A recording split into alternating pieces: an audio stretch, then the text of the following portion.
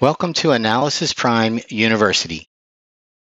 My name is Michael Quinn, and I am a Senior Analytics Training Consultant with Analysis Prime University. In this tutorial, we're going to be showing you how to add a table using the SAP Analytics Cloud add-in for Microsoft Office. More specifically, we will show you how to add a table of data to an Excel workbook using the designer panel. We'll also show you how to add a table of data uh, using the SAP Analytics Cloud tab. And additionally, we will show you how to refresh the data within a table using, again, both of those resources, the designer panel and the SAP Analytics Cloud add-in. If you haven't already, please open a blank Excel workbook.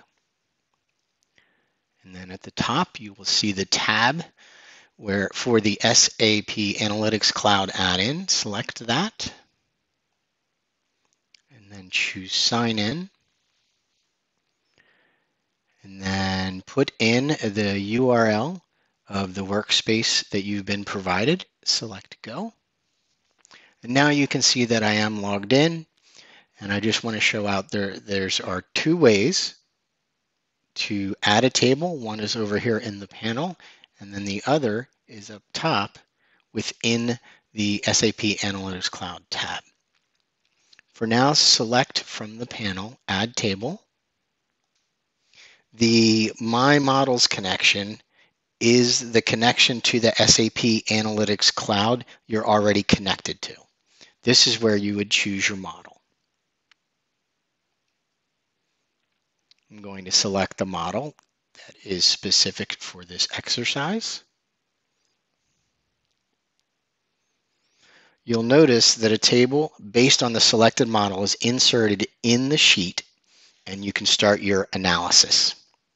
The headers in the table and in the builder panel show the model's name defined in your SAP Analytics Cloud tenant, as well as if you hover over uh, that source, you can get a brief see a brief description of it. These will automatically display the default dimensions and members displayed on the column and the row axes. Open a new sheet. For this sheet, select Add Table from the SAP Analytics Cloud tab. And again, follow the same process. If for any reason you didn't see the model, but you knew the name of it, you could also search. Similarly, the same thing will happen. It creates uh, the table for you based on the default information. You can leave this sheet here or you can cancel it. I'm just going to go back to the first sheet. And I also want to point out the refresh button. So you can see that button here in the tab across the top, and you can also see it over here in the panel. Within the panel, this icon is going to show you um, three different refresh state options. Currently, it says that the table has been refreshed, and that means that changes saved in the tenant are not updated automatically in the add-in, but to get the latest data from the tenant, you select the refresh option.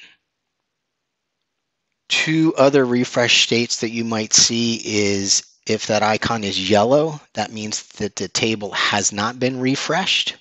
Or if the icon is red, that means that the table could not be refreshed.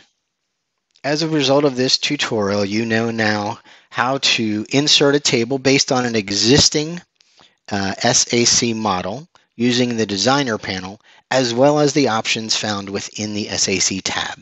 You also know how to refresh the data within a table, again, using the designer panel and or the options found within the SAC tab. Thank you for watching. If you enjoyed this tutorial, click the like button below. You can also view our growing catalog of self-paced courses, tutorials, webinars, and join the community forum by creating your free account at analysisprimeuniversity.com.